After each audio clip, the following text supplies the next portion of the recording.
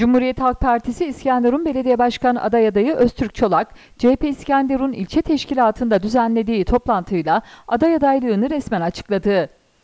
CHP'de yaptığı görevleri anlatarak kendini tanıtan Öztürk Çolak, partide gençlik kollarında başlayan siyaset serüvenine kısa bir sürede olsa il başkanlığı yaptığını hatırlatarak 10 yılda Payas Belediye Başkanlığı görevini yaptığına dikkat çekti. İskenderun sevdasının 1975 yılında gençlik kollarında yönetim kurulu üyeliğiyle başladığını belirten Öztürk Çolak, parti örgütlerinde emeği olmayan insanların bu memlekette belediye başkanı olmak istiyorum deme hakkı olmadığına da vurgu yaptı. Bir Denizciler Mahallesi eskiden Hatay'ın en büyük beldelerinden biriydi. Oraya özel önem verilmesi lazım. Karayılan, Bekbele, Azganlık, Sarıseki, bütün bu beldelerde ayrı komiteler kurup o komitelerin bir o bölgede belediye meclis üyesiymiş gibi çalışmasını sağlayacağım. Sorunları böyle birlikte çözeceğim diyorum. Eğer böyle yapmaz isek, örgütümüzle birlik hareket etmezsek, üç gün sonra belediye başkanıyla ilçe başkanının arasında, milletvekiliyle belediye başkanı arasında sorunlar yaşarız. Ben burada sayın vekilimin ve sayın ilçe başkanımın huzurunda söz veriyorum. Onlarla birlikte almadığım hiçbir kararı topluma da meclisime de dayatmayacağım. Çok uzun konuşulabilir. Ayrı ayrı projeler takdim edilebilir. Ama bugün projelerin takdim edileceği bir gün değil, belediye başkan aday adaylığını açıklama günü olduğu için çok uzun tutmak, sizleri fazla bekletmek istemiyorum. Zira sayın vekilim de sizlere hitap edecek. Ama ben sizlere bir şeyi söz veriyorum. Sizinle birlikte olmayı. Cumhuriyet Partisi'nde bende var olan İskenderun aşkı 1975 yılında başladı. 1975 yılında neden derseniz çünkü ilk siyasal partiye kaydoluşum ve ilk yöneticilik görevim 1975 yılında başladı. İskenderun ilçe gençlik kollarında yönetim kurulu üyesi olarak başladım. Elimi uzatacağım bir arkadaşım var burada. Şu anda Muhasebeciler ve Mali Müşavirler Odası Başkanı Melih Yıldırım. O zamanki gençlik kolları ilçe başkanı. Kendisine teşekkür ediyorum. O gündür bugündür siyasal mücadelemde bir an olsun bir adım geri atmadım. Yalpa yapmadım. Sizler ağladıysanız ağladım. Sizler güldüyseniz güldüm. Bana verilen her türlü görevi Allah'ın akıyla sizlerin desteğiyle yaptım. Halkçı Parti Sonet dönem, birleşme döneminin Hatay İl Başkanlığı'nı yürüttüm. Kısa bir sürede olsa. İlçe başkanlığı yaptım. İl yöneticiliği yaptım. 10 yılda Sayın Başkanımın dediği gibi Hayas'ta belediye başkanlığı yaptım. Benim siyasal mücadelemde örgütten görev almadan veya örgütünün emrinde olmadan hiçbir dakikam, hiçbir yılım geçmedi. Çünkü örgütüne sırtını dönen, örgütüyle birlikte siyasal mücadelesini veremeyen, örgütünün emekçilerine saygılı olmayan bir partili o partiden ben yetki almak istiyorum. Ben bu memlekette belediye başkanı olmak istiyorum deme hakkı yoktur benim gözümde. Yani bu örgütün, bu binanın tozunu yutmayanlara bu binada, bu beldede, bu ilde örgütüne, insanına yarar sağlamayan onunla birlikte ağlayıp onunla birlikte gülmeyenin bu partide ben adayım deme hakkı yoktur.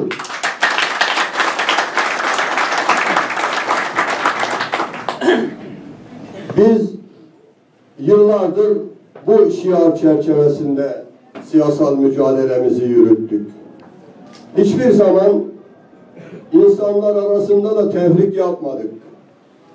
Hizmeti götürürken bu A partisinden, bu B partisinden anlayışıyla hareket etmedik. Hizmeti eşit dağıttık. Ama bir şeyi de çok güzel yaptık. Kendi insanımıza sahip çıkmayı, kendi insanımızla birlikte olmayı. Eğer bir gün kendi insanıma sırtımı dönecek olursam Allah bana hiçbir görev nasip etmesin. Sizlerle birlikte bu mücadelede bir an geri kalırsam Allah benim canımı alsın. Bu kadar iddialı konuşuyorum. Sizlerle birlikte bu mücadeleyi de en güzel şekilde vereceğime inanıyorum. Benim yöneticilik anlayışımda ben yaptı oldu zihniyetiyle yöneticilik yapmak yoktur. İnsanlar tek başlarına bir kıymet ifade etmezler. İskenderun da öyle tek başına ben yaptım oldu zihniyetiyle yönetilecek bir şehir değil. İskenderun'u yönetirken sivil toplum kuruluşlarıyla, muhtarlarla, oda başkanlarıyla, aynı zamanda teknik olarak İnşaat Mühendisler Odası, Makine Mühendisler Odası, Elektrik Mühendisleri Odası, Mimar Odası.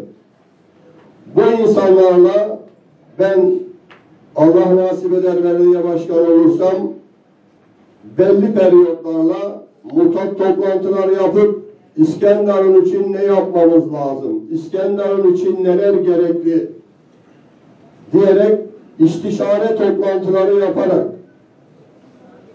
bu insanların İskenderun hakkındaki görüşlerini önemseyerek alacağımız kararları onlarla birlikte oluşturmak istiyorum. Aynı zamanda ben yöneticiliğimde belediye meclisi ve ilçe meclisi partinin ilçe yönetimiyle birlikte tüm kararları alınmasını sağlayacağım. Yani Öztürk Çolak Belediye Başkanı olduğunda tek başına karar almayacak. İlçe başkanıyla, milletvekiliyle, iliyle, ilçe yöneticileriyle, mahalle temsilcileriyle birlikte kararları alıp birlikte yürüteceğiz. İşte o zaman kararlar şaibeli çıkmaz. Veya işte 10 tane, 15 tane meclis üye var da 10 tanesi oy vermez. 15'i de oy verir. Niye? Ben mecliste alacağım kararı kendi grubumda almadığım takdirde o meclise de getirmeyeceğim. Önce kendi grubumda, kendi partimde o kararları olgunlaştırıp ondan sonra karara bağlamak üzere belediye meclisine getireceğim. Eğer böyle yapmaz, hazırlıksız bir şekilde belediye meclisine kararlar gelirse, burada belediye meclis üyesi arkadaşlarım, kardeşlerim edeceğim. Bir Denizciler Mahallesi eskiden Hatay'ın en büyük beldelerinden biriydi. Oraya özel önem verilmesi lazım. Karayılan, Bekbele, Azganlık, Sarıseki, bütün bu beldelerde ayrı komiteler kurup o komitelerin bir o bölgede belediye meclis üyesiymiş gibi çalışmasını sağlayacağım. Sorunları böyle birlikte çözeceğim diyorum. Eğer böyle yapmaz isek, örgütümüzle birlik hareket etmezsek, üç gün sonra belediye başkanıyla ilçe başkanının arasında, milletvekiliyle belediye başkanı arasında sorunlar yaşarız. Ben burada sayın vekilimin ve sayın ilçe başkanımın huzurunda söz veriyorum. onlarla birlikte almadığım hiçbir kararı topluma da meclisime de dayatmayacağım. Çok uzun konuşulabilir. Ayrı ayrı projeler takdim edilebilir. Ama bugün projelerin takdim edileceği bir gün değil, belediye başkan aday adaylığını açıklama günü olduğu için çok uzun tutmak, sizleri fazla bekletmek istemiyorum. Zira sayın vekilim de sizlere hitap edecek. Ama ben sizlere bir şeyi söz veriyorum. Sizinle birlikte olmayı. Bu güzel günde, bu güzel CHP Hatay Milletvekili Suzan Şahin'le yaptığı konuşmada bugün sonsuzluğa uğurlanan CHP İskenderun eski ilçe başkanı Süleyman Uyar'ı rahmet ve minnetle andı. tıpkı ilçe başkanım Yusuf abim gibi birkaç kelimeyle Süleyman abiyi anmak isterim.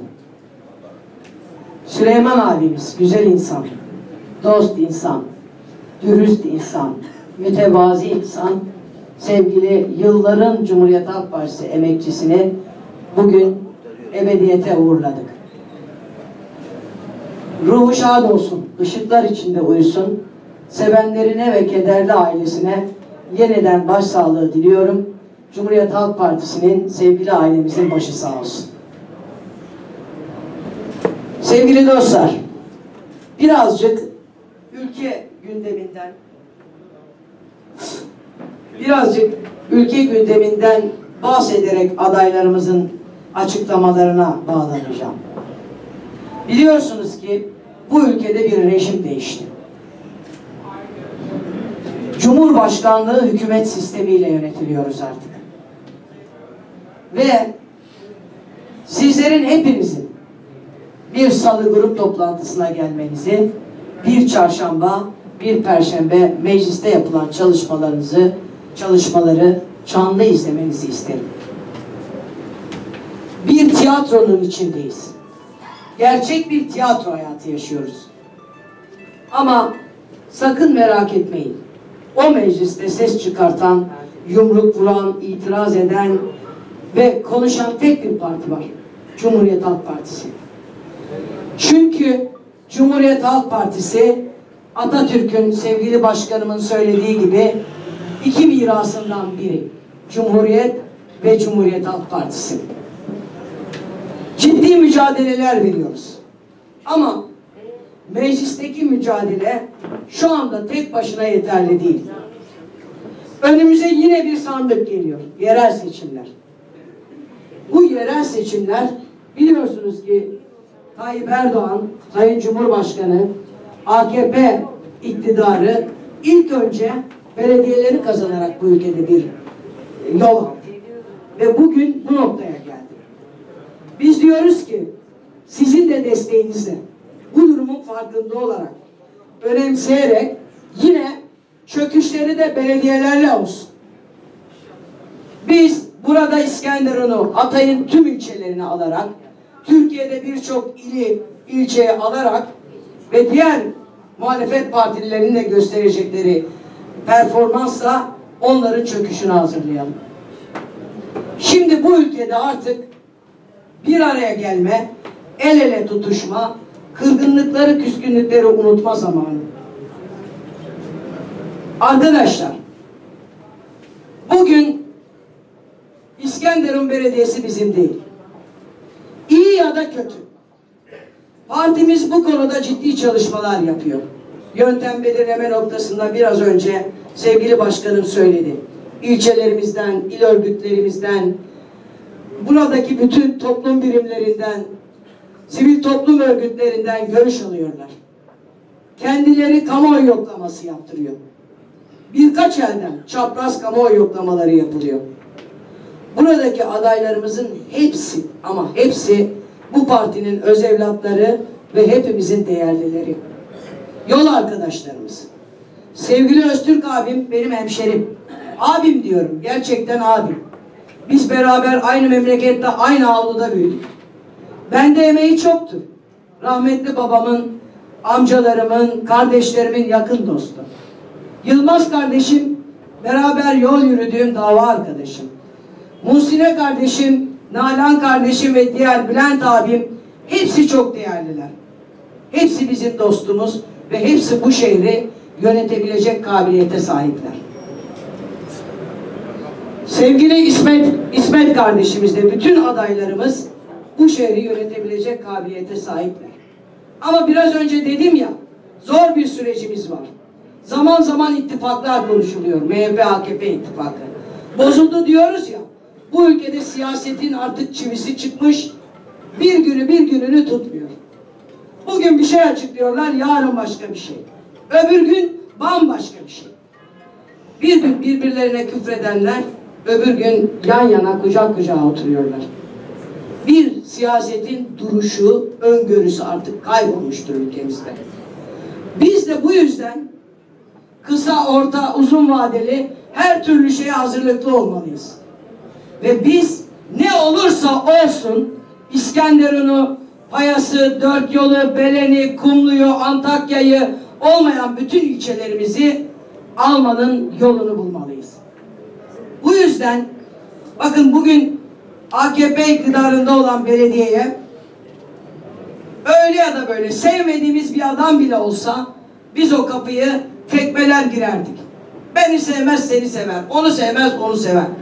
İlla ama illa o bayrağı orada dalgalandırsak birimiz ona ulaşır. Bugün bu kadar kötü İskenderun'un yönetilmesine engel olurduk. Sayın Seyfi Dingil iktidar belediye başkanı diye belki birçok dostumuz İskenderunlu sevinmiştir. Buraya birçok şey getirir. İktidar belediye başkanı. Devleti de arkasına alır, İskenderun'u uçurur de- demiştir belki. Umut etmiştir. Ama gel görelim, hiçbir şey yapmadı bu şehre. Kaldırım sök, kaldırım tak. Kaldırım sök, kaldırım tak. Yol ve kaldırım dışında elle tutulur hiçbir şey yok. Bir kent park var. Güzel oldu.